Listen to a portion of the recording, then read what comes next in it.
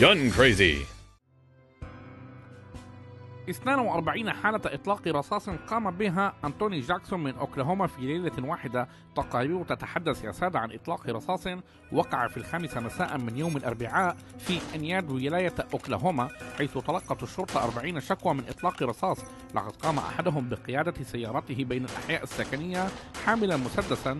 لم يصب أحدا بأذى لكن كلبا مسكينا ألحق به الضرر بساقه. لحسن الحظ قام أحد الشهود بتسجيل رقم السيارة وإعلام السلطات بمواصفات السيارة. طابقت الشرطة المواصفات مع سيارة أنتوني جاكسون ومن ثم قامت وحدات المداهمة باعتقاله في بيته. واتضح أنه تعرض للطرد من عمله في سيفالايت بعد العثور على مسدس وذخيرة حية في شاحنته. في الحقيقة لقد تلقى مديره في الشركة ذلك اليوم اتصالا من الشرطة بشأن موظفه الفتاك. تم العثور على ذخيرة بندقية ومسدس بالإضافة إلى مسدس وبدلة واقية من الرصاص. وأعطت الشرطة الذخيرة والأسلحة التي تمت مصادرتها لأخي جاكسون على أمل أن يكون عاقلا على عكس أخيه. أما الكلب المصاب فقد خضع لعملية جراحية ويتوقع أن يتعافى بسرعة. لماذا فعلت؟ ذلك يا جاكسون